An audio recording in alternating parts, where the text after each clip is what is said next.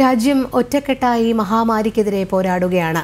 രാപ്പകൽ വ്യത്യാസമില്ലാതെ കർത്തവ്യ നിർവഹണത്തിൽ ഏർപ്പെടുന്ന നിയമപാലകർക്ക് ഇളനീർ നൽകി അതിജീവനത്തിന്റെ പോരാട്ടത്തിന് കരുത്തു പകരുകയാണ് എറണാകുളം തോപ്പുംപടിയിലെ സേവാഭാരതി പ്രവർത്തകർ.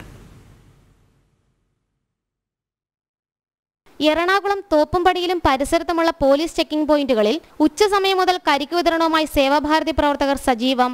സമൂഹത്തിനായി പ്രതിരോധ പ്രവർത്തനങ്ങളിൽ ഏർപ്പെടുന്ന നിയമപാലകർക്ക് നട്ടുച്ച നേരത്ത് ലഭിക്കുന്ന ഇളനീർ വലിയ ആശ്വാസം തന്നെയാണ്.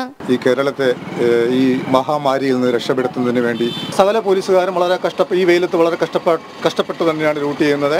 നിങ്ങളെ പോലെയുള്ള സന്നദ്ധ പ്രവർത്തകരുടെ സഹായ സഹകരണം കൊണ്ട് ഞങ്ങൾക്ക് വളരെ ആശ്വാസകരമാണ്.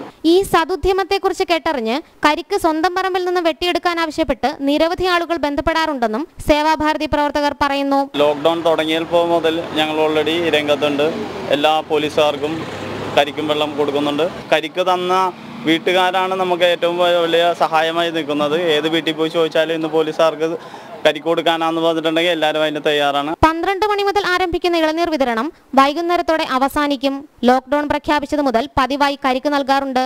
പോരാട്ടത്തിന് കരുത്തേകുന്ന നിയമപാലകർക്ക് സർവ പിന്തുണയുമായി തുടർന്നുള്ള ദിവസങ്ങളിലും ഇവരുണ്ടാകും. ജില്ലയിലുടനീളം അതിജീവനത്തിനായുള്ള പോരാട്ടത്തിൽ സദാ കർമ്മനിരതമാണ് സേവാഭാരതി. ജനം കൊച്ചി.